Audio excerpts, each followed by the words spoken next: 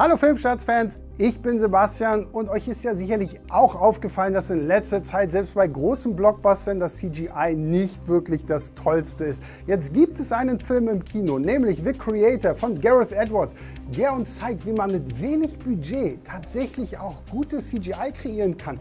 Und darüber will ich mit euch jetzt mal sprechen, weil es gibt jetzt wirklich keinerlei Ausreden mehr, warum nicht selbst 200 Millionen Dollar Produktion gute Sachen abliefern können. Warum es da trotzdem Probleme gibt und warum The Creator uns zeigt, wie man es in Zukunft besser machen kann, darüber will ich mit euch jetzt sprechen.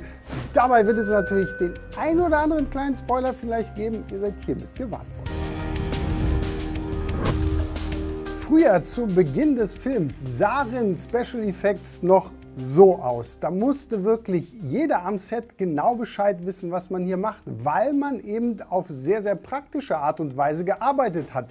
Da musste der Kameramann genauso Bescheid wissen wie der Beleuchter und wie der Regisseur, wie man jetzt hier ein Bild einstellt um hier etwas gigantisch Großes zu zeigen oder halt einfach etwas zu präsentieren, was es so in der Realität einfach nicht geben kann.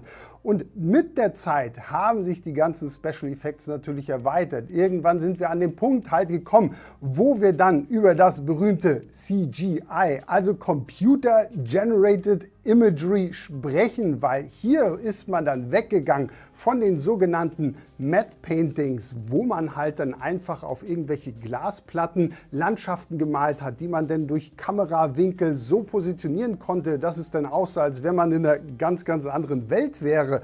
Und neben Matte Paintings sind dann natürlich auch so Sachen verschwunden wie Puppen, wie Maske, weil man einfach immer mehr und mehr zu diesem Punkt gekommen ist, zu sagen, okay, wir kriegen es alles einfacher hin, indem wir es durch Computer machen.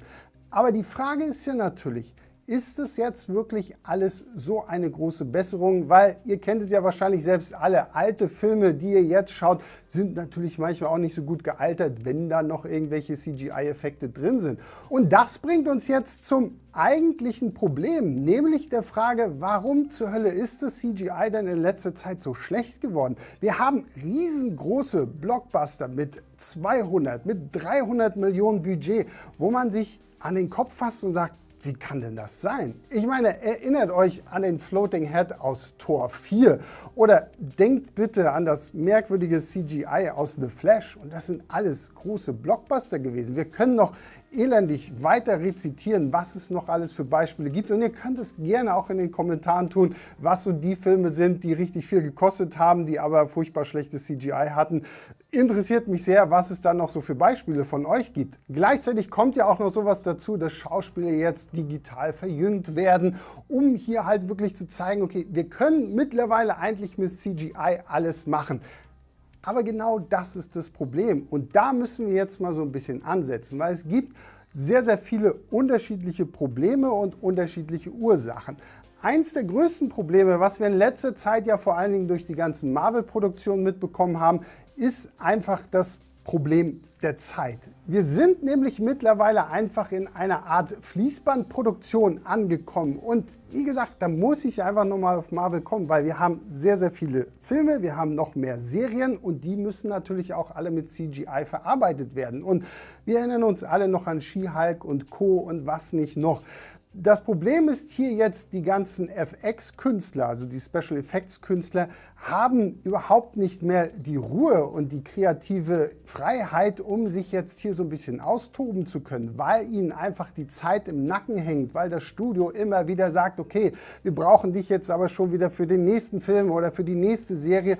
Damit geht hier wahnsinnig viel verloren. Gleichzeitig ist ja auch das Problem, dass viele der Regisseure dann überhaupt nicht mehr so das Gespür haben, haben, wo setze ich denn jetzt einfach gut das CGI ein? Wie stelle ich das jetzt alles dar? Wie stelle ich meine Charaktere auf? Wie werden auch die Sets irgendwie gebaut, damit es alles schlüssig ineinander übergeht? Und dabei dann noch immer diesen Zeitdruck zu haben, sorgt einfach dafür, dass wir gerade bei so großen Blockbuster-Produktionen, und das ist jetzt nicht nur Marvel, das ist nicht nur DC, es gibt auch bei Netflix und Co. genügend Beispiele für wirklich schlechtes CGI, dass das einfach nicht mehr sitzt. Dazu kommt ja dann auch noch, dass bei vielen dieser Produktionen sehr häufig irgendwelche Nachdrehs gemacht werden, wo dann auch nochmal wieder das CGI verändert werden muss. Und somit ist Zeit und der damit verbundene Druck wirklich eins der größten Probleme. Gleichzeitig sind wir aber mittlerweile auch an einem Punkt angekommen, wo praktische Effekte, so toll und wunderbar sie sind, und die überleben ja auch so ein bisschen den Test der Zeit, aber praktische Effekte sind mittlerweile ja sehr viel aufwendiger, weil man natürlich Kostümbildner braucht, man braucht wirklich kleine Erfinder, die da sich mehr und mehr Sachen ausdenken, wie man das irgendwie am besten machen kann. Da ist es natürlich einfach zu sagen, okay, wir setzen uns an den Computer und es funktioniert dann irgendwie so. Aber wir haben auch Beispiele, die uns zeigen, okay, es funktioniert eben genau nicht. Erinnert euch zum Beispiel an das Prequel zu Das Ding aus einer anderen Welt, The Thing von 2011. Der wurde gedreht und alle Effekte, die man während der Dreharbeiten machte, waren praktische Effekte. Trotzdem kam das Studio danach an und hat gesagt so, ja, nee, vielleicht machen wir da doch lieber ein bisschen mehr mit CGI und dementsprechend sieht das dann da auf einmal auch nicht mehr gut aus. Oder ein anderes Beispiel, nehmt mal bitte den Film Ruf der Wildnis von 2020 mit Harrison Ford, eine Jack London Verfilmung, über die ich mich bis heute wegen einem einzigen Punkt totlachen kann. Weil im Film gibt es einen Hund, und dieser Hund ist CGI da merkt man halt auch wieder, okay, es ist sehr kompliziert, mit einem echten Tier zu arbeiten. Deswegen gibt es ja auch diese alte Hollywood-Regel, arbeite nie mit Kindern und nie mit Tieren. Und Ruf der Wildnis hat sich das angenommen und gesagt, okay, dann machen wir halt einen CGI-Hund. Da wurden dann Hunde in Motion Capturing-Anzüge gepackt. Da gab es einen richtigen Schauspieler, der dann gemeinsam mit Harrison Ford hier Hund und Mann gespielt hat. Und man sieht es dem Film leider einfach an, dass hier CGI im Spiel ist und keine praktische praktischen Effekte, also ein einfacher Hund. Und natürlich gibt es auch das gute Gegenbeispiel. So jemand wie Christopher Nolan ist da das Paradebeispiel schlechthin, weil Nolan sagt sich, Je weniger CGI ich in meinem Film habe, umso besser ist das Ganze. So gibt es ja die berühmte Anekdote, dass der Flugzeugcrash in Tenet, wo eine riesige Boeing 747 in eine Flugzeughalle rast, das hat er einfach echt gemacht, weil er sich gesagt hat, okay, per CGI würde es in etwa genauso viel kosten, aber es würde nicht so toll aussehen, wie wir es hier haben. Auch das ist natürlich für viele Produktionen dann irgendwo immer die Entscheidung, haben wir denn auch wieder die Zeit, sowas zu bauen? Da sind wir wieder bei diesem Zeitproblem, weil das braucht man hier natürlich auch. Mittlerweile gibt es ja dann auch noch andere Möglichkeiten, wie man CGI besser in ein natürlicheres Konstrukt am Set einbaut. Und da kommt zum Beispiel etwas ins Spiel, was The Mandalorian uns geliefert hat, nämlich das sogenannte Stagecraft Set. Das ist ja dann wie Greenscreen, nur mit riesengroßen Monitoren. Das heißt, die Schauspieler agieren nicht mehr vor einer grünen Wand, so wie ich es hier tatsächlich in Realität ja tun würde. Nein, da kann man tatsächlich dann direkt die Bilder drauf werfen. Was gerade für die Kameraleute gut ist, weil dadurch kann man dann auch die Lichtverhältnisse besser so einstellen, dass es etwas natürlicher wirkt. Trotzdem birgt natürlich auch das eine Gefahr, weil wir sehen diese Stagecraft-Technologie mittlerweile in sehr, sehr vielen Filmen, wir sehen sie auch in sehr, sehr vielen Serien und ganz, ganz findige Leute erkennen natürlich irgendwann auch, ja okay, das ist auch kein richtiges Set sondern halt nur CGI. Und das nutzt sich natürlich irgendwann auch ab, weil natürlich sind es Schauspieler auch immer wieder gewohnt, vor grünen Wänden zu agieren, aber richtige Sets geben einem da natürlich nochmal deutlich mehr und deswegen ist diese Stagecraft-Technologie an sich nichts Schlechtes, aber man sollte sich auch nicht zu sehr darauf festsetzen. Das letzte Problem, was ich mit euch im Zusammenhang mit CGI an sich noch besprechen möchte, finden wir dann wieder vor allen Dingen in den großen Superheldenproduktionen. Weil ähnlich wie wir es in diesen Filmen haben, es muss immer größer, es muss immer krasser, es muss immer besser werden. Und das kann man natürlich auch auf CGI sagen, weil wenn man sich die Avengers 1 anguckt und dagegen Avengers Endgame anschaut, das sind natürlich ganz unterschiedliche CGI-Schlachten, aber wenn Avengers Endgame sowas ähnliches gemacht hätte wie Avengers 1, dann wären wir wahrscheinlich irgendwo auch ein bisschen unzufrieden gewesen, weil wir uns sagen so, hm, so hatten wir es jetzt nicht vorgestellt. Das war ja früher irgendwie alles ganz anders.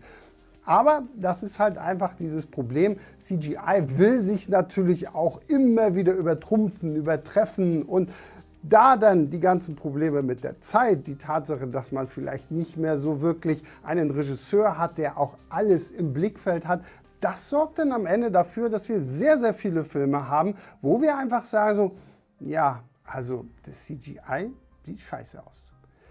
Jetzt sind wir aber an dem Punkt, über den ich ja eigentlich mit euch sprechen wollte, nämlich The Creator von Gareth Edwards. Und bei dem Film muss man sich ein paar Sachen deutlich machen. Zuallererst, dieser Film hat nur 80 Millionen Dollar gekostet. Das ist mittlerweile für Blockbuster-Verhältnisse ja schon fast Low-Budget-Film, weil 80 Millionen, das verbrennt Marvel allein nur für Special Effects. Und trotzdem fragen wir uns, okay, wo landet das ganze Geld?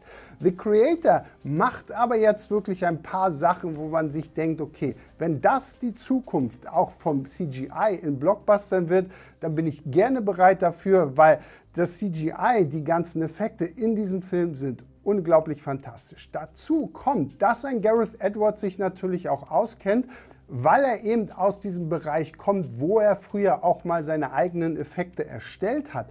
Gleichzeitig wurde dieser Film dann auch mit sehr, sehr kleinen Kameras gedreht. Kameras, die kleiner sind als die, in die ich jetzt hier gerade spreche. Er hat nämlich kleine Sony-Kameras benutzt, die trotzdem in der Lage sind, IMAX-fähige Bilder zu erzeugen. Und das muss man sich hier einfach auch mal auf der Zunge zergehen lassen. Die Produktion ist dadurch wesentlich erleichtert worden. Während ein Nolan fette, kiloschwere IMAX-Kameras durch die Gegend schleppt, die, wenn die einmal kaputt gehen, gleich mehrere Millionen Dollar kosten, ist diese kleine Sony-Kamera, die ein Gareth Edwards benutzt hat, gerade mal im Bereich von 4000 Dollar oder so. Das lässt sich viel leichter ersetzen, liefert trotzdem wahnsinnig gute Bilder.